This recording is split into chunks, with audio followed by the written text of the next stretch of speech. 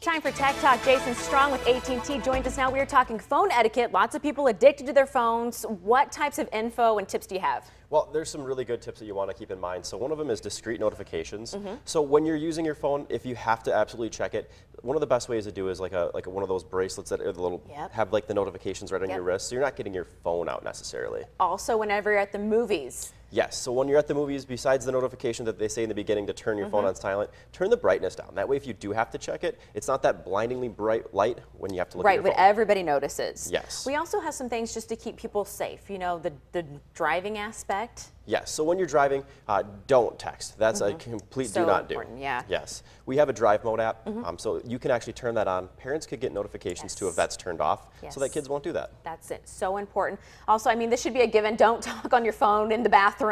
Correct. You definitely don't want to be that person in the bathroom so weird. Yes, you don't want to do that. And then I, I didn't, you know, this one right here I think is super important. Don't take pictures of your friends and then tag them without telling them or notifying them. E- exactly. Be respectful. It's rude, right? Yeah, be respectful of your friends. You know, if you're going to tag them in a picture, let them know ahead of time. And, and I really like this one.